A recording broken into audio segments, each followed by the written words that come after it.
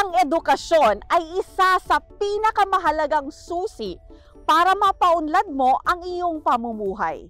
Nagbibigay ito ng kaalaman at kasanayan na kakailanganin mo sa paghahanap buhay. Nagsisilbi rin itong tulay para maabot mo ang iyong mga pangarap. Panoorin natin kung paano tinulungan ng First Gen Corporation ang ilang kabataan sa Batangas upang matawid nila ang kanilang pag-aaral sa kolehiyo.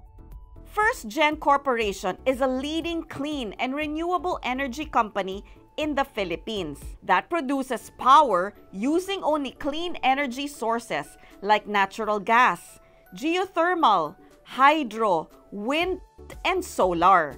Sa isa nilang host community sa Batangas, may mga deserving na senior high school students na gustong kumuha ng mas technical na kurso tulad ng engineering, nursing o food technology. Pero hindi sapat ang vouchers na ibinibigay ng Department of Education kung sa private school sila mag-aaral. Nagpa siya ang First Gen Corporation na tulungan sila at inulunsad nila ang SHS or Senior High School Scholarship Program. Nung wala pa po yung first gen scholarship, bale si mama po lahat na nagpo-provide ng aming pangangailangan dahil siya lang po yung may trabaho and kaya pa po magtrabaho that time. Dahil kami pong apat na magkakapatid ay lahat po nag-aaral pa. So si mama po, nag, ibang bansa po siya, din nag, nag-apply din po locally sa Palawan, ganito, ganyan. Ang magkapatid na si Angelica at Andrea Manalo ay parehong scholars ng SHS program. Mag-isang kumakayod ang kanilang ina dahil ang ama nila na dating welder ay paralyzed na ang kalahating katawan.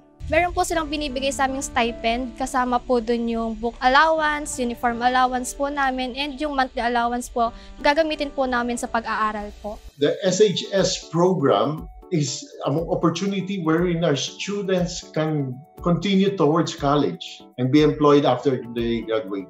And the first batch was started in 2018. And from this SHS program, we have already graduated 32 students. Their scholars are provided not just technical skills, they are also given additional training on values formation, financial literacy, and climate change education. Para sa first gen, mahalaga na ang mga estudyante kanilang sinusuportahan share the same values of being environmental stewards.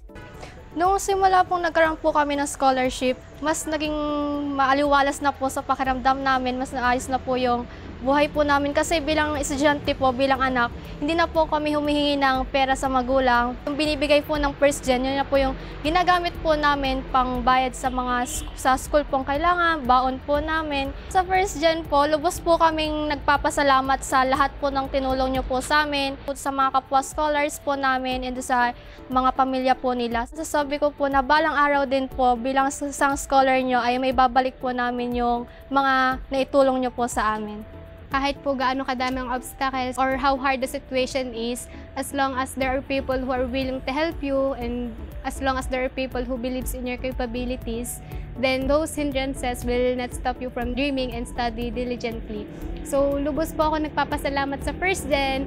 Ito na po ako incoming second year college student, Dean's Lister, and pinapangako ko po within 2 years, isa na po akong ganap na engineer. And sa mga bata, ito yung oportunidad ninyo, do your best. And this sometimes this only comes once in a lifetime. But I think uh, you've been chosen because we know you'll do your best. Gen Corporation, for helping our neighbors in Batangas for giving your scholars the opportunity to have better lives. You are our G Diaries World Changers of the Day. Thank you talaga, First Gen. Thank you talaga. It's really great what you're doing. It's amazing. Don't stop doing it. We need more people like you, more companies like you. Kasi okay talaga.